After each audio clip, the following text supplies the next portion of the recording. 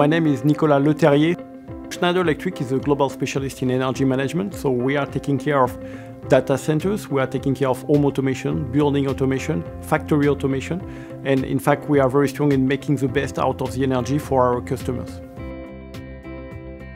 Key challenges we are facing today are two main challenges. One is safety and the second one is security. Safety is that we have to be fail safe for our customer uh, in order to en ensure that all the system is currently properly functioning whatever is happening to it. And the second one is security because all the world is connected and because all our devices are currently connected, we need to protect our customer from any kind of external attack that may come through the network.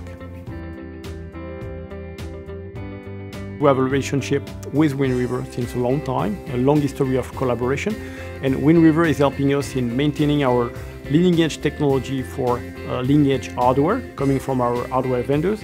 and also helping us in communication in order to handling the right communication stack in order to be connected all the time, and for sure helping us in real-time capability of the operating system, helping us to maintain our technology, I would say fast enough in order to react to any kind of event.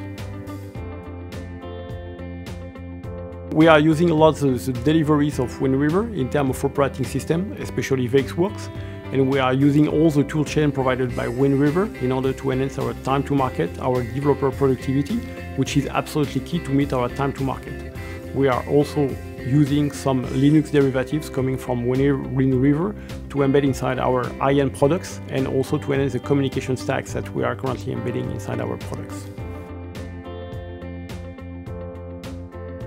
We are moving towards a world which is more and more complex and much more complex hardware platforms as well, moving a lot of our products towards multi-core. Because of this multi-core technology, we need to enhance our capability to retarget and using a technology like Hypervisor is currently helping us to virtualize the hardware and ensuring that we're able to port this application from one hardware platform to another in a more efficient manner than it was before. And it allows us really to